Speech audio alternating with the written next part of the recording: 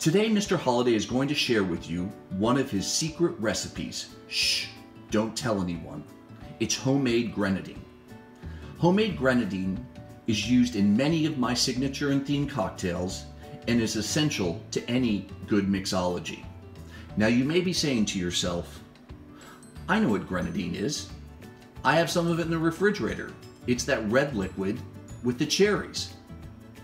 Or we have grenadine at my local market. It's not that expensive. It's right around where the soda is, and it says it's grenadine. Well, that's not real grenadine.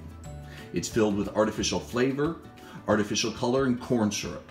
Today, we're going to make the real thing. So, the base of real grenadine is 100% pomegranate juice with no sugar added.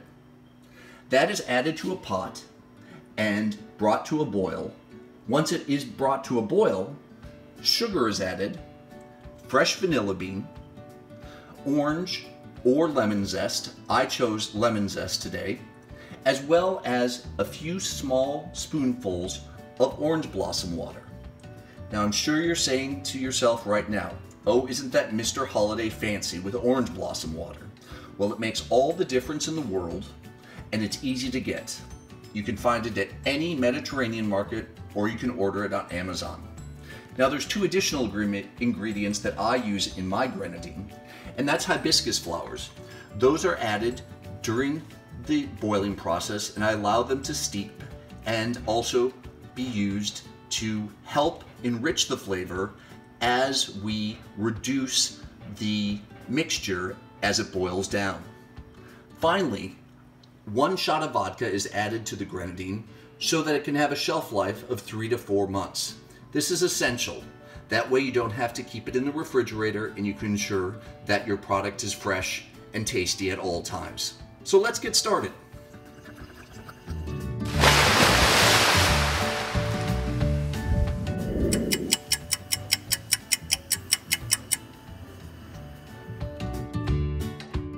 Now that your grenadine is boiling, it's time to add the fresh vanilla bean.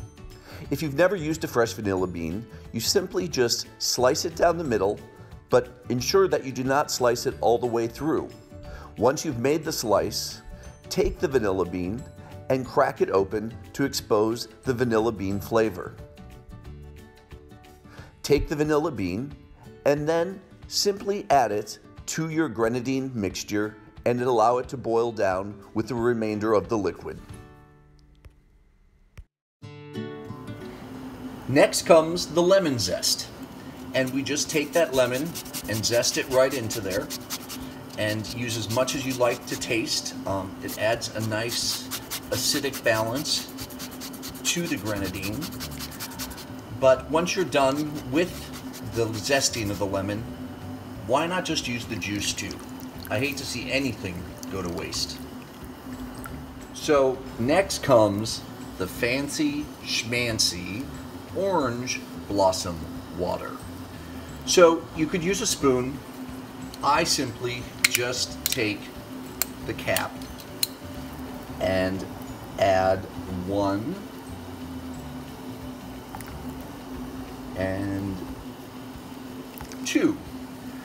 I wouldn't recommend adding more than two capfuls because it is a strong flavor and you may want to taste it first that it might not be quite your cup of tea. So it's not a necessary ingredient. It's just an enhancement that makes it taste a little bit special.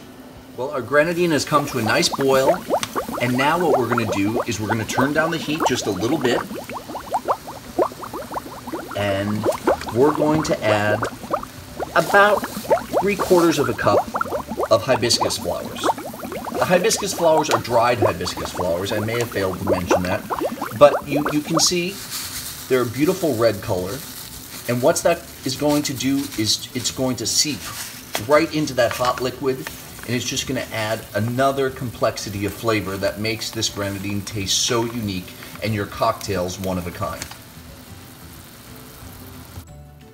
We've added all of the ingredients and now reduce the heat.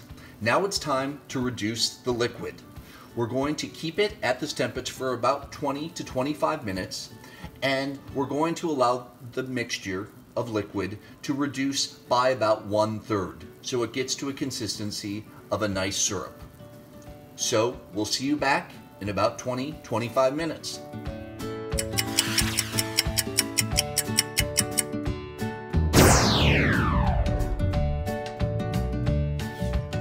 So the grenadine is now cooled and you can see it has a nice consistency of a light syrup.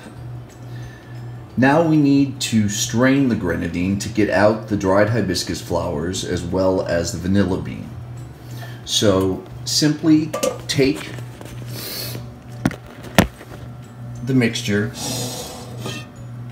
get a strainer, and pour it right in. And you'll see the vanilla bean, you'll see the remainder of the hibiscus flowers. And we let that strain through for a second.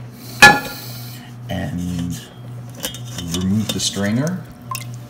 And voila, we have a beautiful grenadine soup.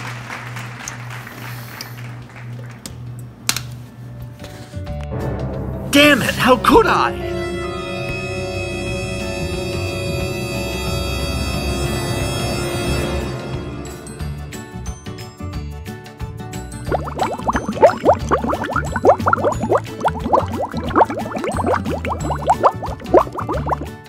Grenadine is now bottled and ready for consumption.